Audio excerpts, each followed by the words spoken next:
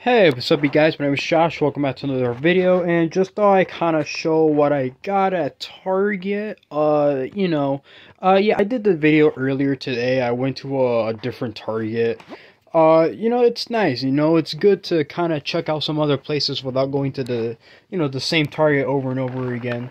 So, of course, I found the Rat King and Vernon. Uh, obviously, I don't have this, so it was very nice to find them pretty nice considering that, you know, these guys did came out a while back. I'm not exactly sure how long ago, but it is nice to find them finally. Uh, you know, sorry. uh, and of course I found the Universal uh, Monsters Mummy. Now, of course, this is the colored version because the black and white version won't come out till I think June. I am not too sure about that. Honestly, I don't even know at this point because sometimes like they tend to kind of change the timing of when these figures get released. But he does look really nice, of course. If if you're into the Universal monsters, of course, this is definitely something I I recommend. Uh, I know that they do plan on making the Invincible Man. That's definitely one that I've been waiting for for a very very long time, ever since the line was announced. Uh, they do plan on making Dracula. That I know was confirmed last year.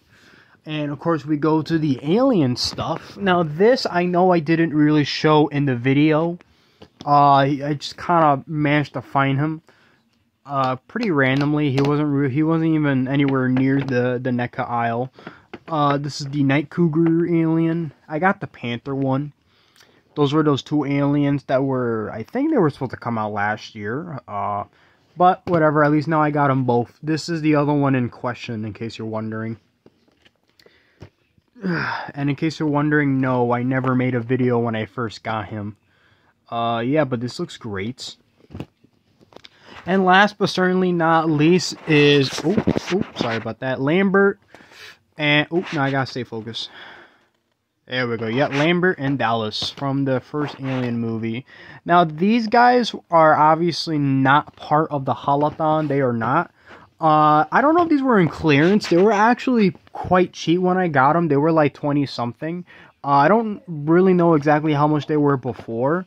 Now, I, I know technically, you know, due to inflation and all that, a regular figure would cost you around $32.99, but I got these guys for like 20 something. I forgot exactly, you know, the exact amount because of tax and everything. But I was quite surprised when I found them because, you know, uh, well, first of all, I was unexpected, and two, I didn't think they were going to be that cheap.